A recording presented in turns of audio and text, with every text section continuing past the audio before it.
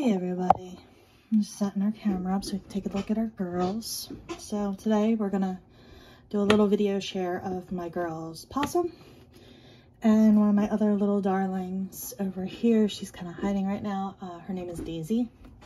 So Possum, you can see over here. Let me get her real quick. Oh, gerbils are going nuts.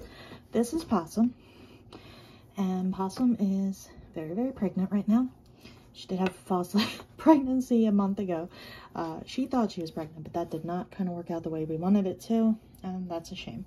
But she's good and pregnant now, and she is bred with one of our lovely boys, Jet, and he's a real sweet guy, and she is rambunctious today. My goodness.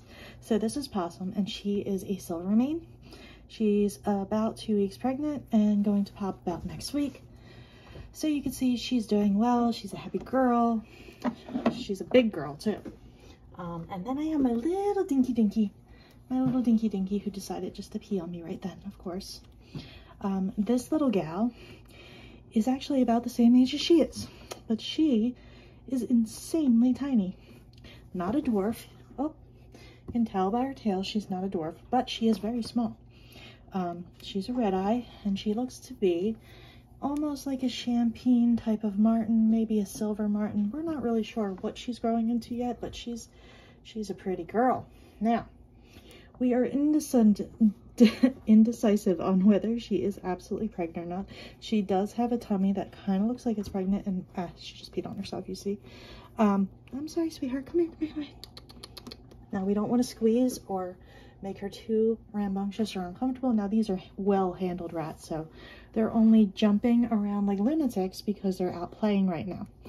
And this is their playtime and they're not used to me manhandling them during playtime. So as you can see, come here, Alice. Uh, I'm sorry, Daisy. I don't know why I'm calling you Alice. You can see underneath she's got this belly area that is pretty plump and pretty heavy. Hi, honey. And we're just going to let them go play now. Um, but as you can see, she's got that little belly that's pretty plump. You can see our girl over here playing. Um, she's got the belly that's pretty plump. And the reason we would assume that she's pregnant is, well, one, we had her in with our males, with her male. And there was always a possibility she was getting pregnant. I didn't think she really would. In all honesty, she wasn't really uh, in heat during the time, so I thought, but apparently she may have been. So we'll see how she does now. Jet is a fairly small male. He's not super huge, so I'm not really concerned about her size. And obviously, Possum is perfectly capable. She's a big girl. But those are our features for today, Miss Possum. And of course, Miss Daisy back there, who for some reason I keep calling Alice. Oh, you killed my little thing. You naughty little beast. Now, that's my girls. Oh, and this is a new wonderful toy that I found. Um, it's actually a scarf that you can wear because I don't know about you, but for me, these little ratty tatties can rip your shoulders up. And this is a nice bonding pouch where they can hang out with you and just chill while you're doing things around the house and you have a good experience and bond with them. I will leave the link below so that you can take a peek. Oh, she is just peeing like crazy today.